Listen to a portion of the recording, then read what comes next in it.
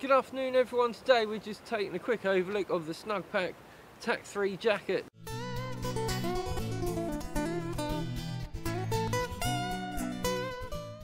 The main features of this new line of jackets from Snugpak, this is a TAC 3 Softie Premier insulation, rated down to 0 degrees Celsius and if you're moving, you know on a hike or something down to minus 5 in extremes. The main features of this jacket, roll away hood, that is really nice and handy. It kind of looks like I'm a bomber pilot or something, doesn't it really? But yeah, inside there's a flush polyester.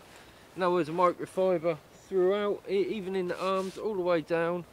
Again, I, I got a size too small by accident, guys, so I'm sorry about that if it looks kind of tight on me. You can see it has thumb holes again to keep your hands and knuckles warm. Again, it's a bit tight and constricting on me because I've got the wrong size by mistake.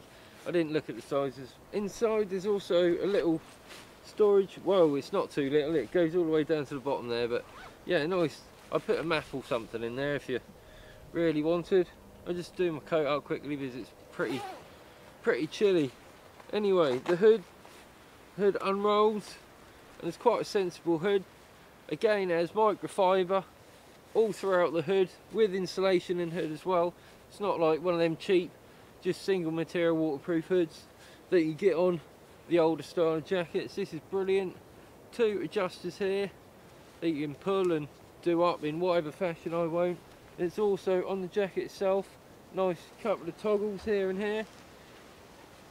There isn't one on the back of the hood. There normally is one on the back of the hood with Snugpak stuff, but not on this one. It doesn't matter. You've got these two to cinch it down with anyway. So yeah, that's a nice little hoodie.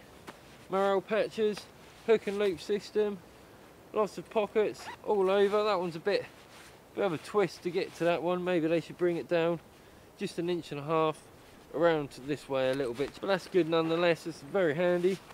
Just uh, for your documentation or whatever. This pocket that's nice and big. It's like whole breast size.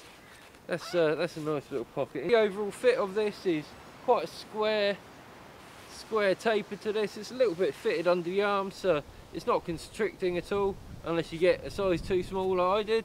Nonetheless, it's a nice little jacket that I often wear. I just don't often put my hands up like that and uh, no one can see it's too small on me.